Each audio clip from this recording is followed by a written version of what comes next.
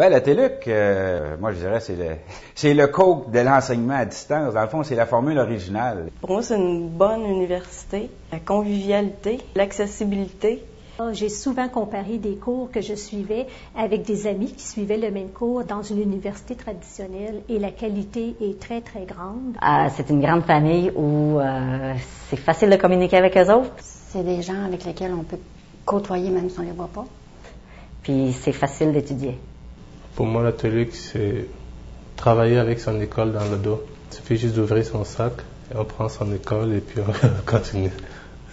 Moi, je trouve que la TELUC, c'est la liberté. Je le vois comme euh, une grande, grande porte, là. Vers des horizons. Je me sens libre à l'intérieur de ça. C'est vraiment euh, infini. Un milieu d'études qui est intéressant, qui est ouvert et qui permet la flexibilité aux gens.